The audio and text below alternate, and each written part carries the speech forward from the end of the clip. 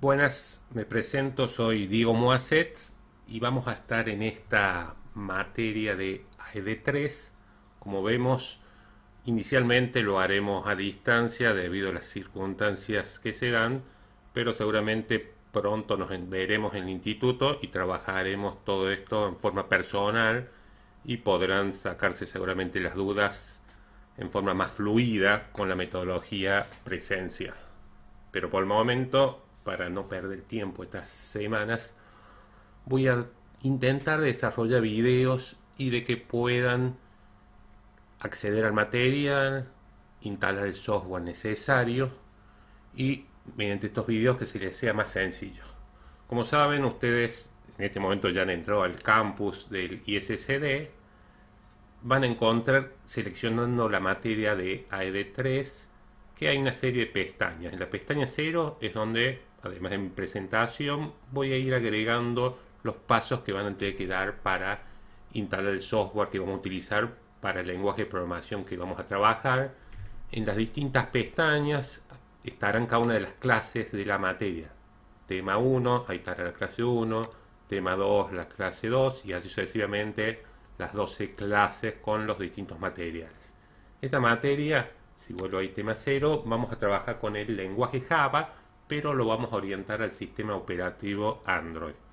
Para eso necesitamos hacer la instalación de una versión especial de Eclipse para trabajar con Android. Yo les he dejado en la enlace de instalación de Java y Eclipse. Si entramos ahí encontraremos los dos enlaces para descargar la versión de Java, el JDK de Java yo lo he dispuesto acá en el escritorio, JDK7. Si tienen una versión anterior o posterior, por ahí lo más conveniente sería que desinstalen esa y tengan instalada solamente esta para su correcto funcionamiento. Lo mismo van a hacer, van a descargar el Eclipse adaptado para Android. Acá yo lo he dispuesto en el escritorio, se llama ADT Bundle Window. Este solamente es un archivo comprimido que lo tienen que descomprimir por ejemplo, la raíz de la unidad C.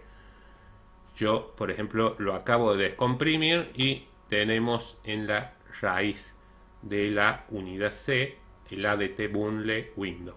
En la unidad C, ADT bundle window, hay una subcarpeta donde está la Eclipse.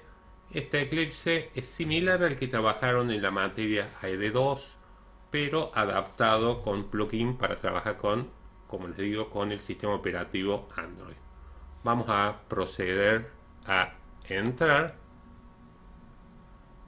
nos pide igual que en las versiones anteriores de Eclipse en qué carpeta vamos a guardar nuestros proyectos. Vamos a dejar el que nos project nos da por defecto.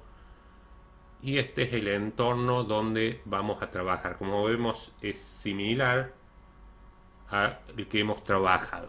Acá cierro el vídeo. El siguiente paso vamos a ver cómo configurar la máquina virtual de Android, que va a ser un paso diferente a lo que ustedes conocían para hacer aplicaciones de escritorio con Java.